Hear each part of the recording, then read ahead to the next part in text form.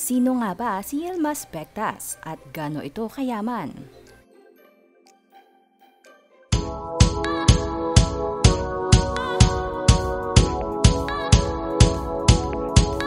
Maingay ngayon sa mundo ng social media ang Turkish businessman from Eru na si Yilmaz Bektas. Kaya naman, naging palaisipan sa mga hindi nakakakilala sa kanya kung sino nga ba siya.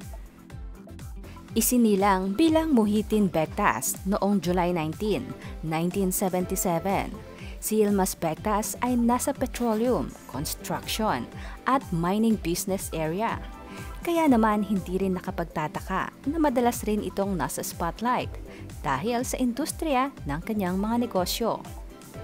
Ngunit ang bigla ang pagtunog ng pangalan niya ngayon ay lalong nagdala ng kabi-kabilang katanungan, hindi lamang tungkol sa kanya, kung hindi maging sa kanyang personal na buhay, kung gaano ito kayaman, kung prinsipe nga ba siya, at kung sino ang kasalukuyang asawa niya.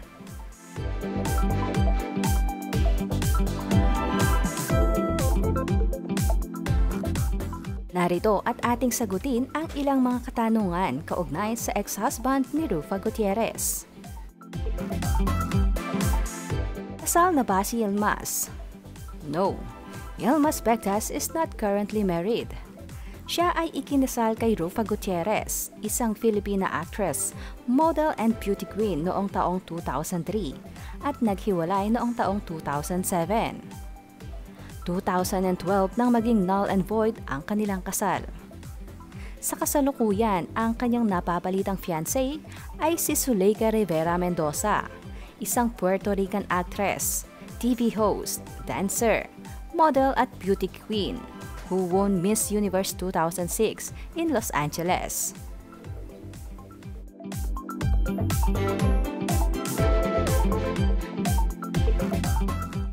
Isa sa dahilan ngayon kung bakit nasa spotlight si Yilmaz ay dahil sa reunion nila ng mga anak nila ni Rufa Gutierrez na sila Lorin at Venice Bectas matapos ang 15 years na pagkakawalay sa isa't isa.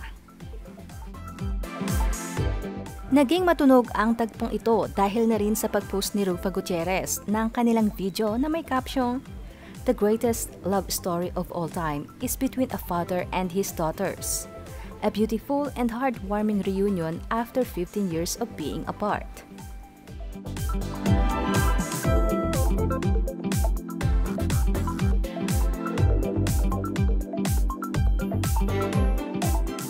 Gaano nga ba kayaman si Yilmaz Bectas?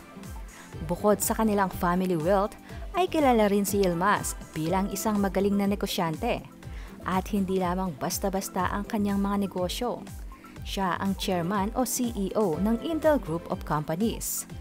Ang kanyang group of companies ay binubuo ng iba't ibang sektor ng kumpanya, hindi lamang sa Turkey kundi pati sa ibang bansa gaya ng Middle East.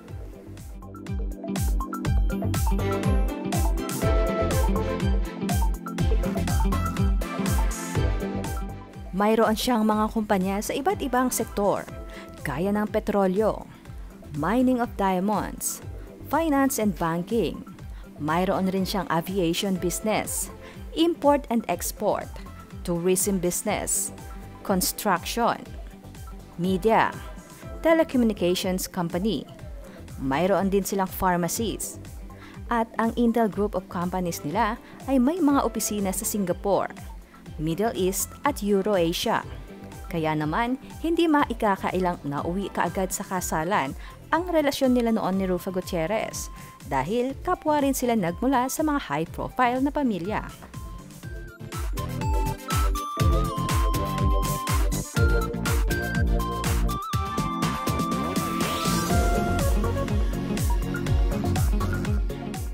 Isa sa tanong pa ng mga netizens, totoo nga bang Prinsipe si Ilmas?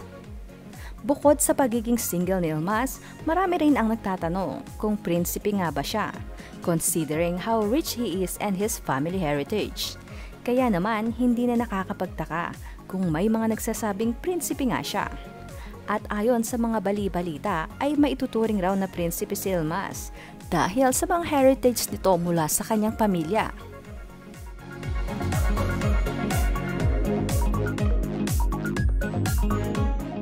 At dahil nga sa pagkikitang naganap nila Ilmas at mga anak nila ni Rufa Gutierrez, ay maraming netizens ang umaasa at nagsasabing sana raw ay magkaayos at magkabalikan na lang ang dalawa, alang-alang sa mga anak nila.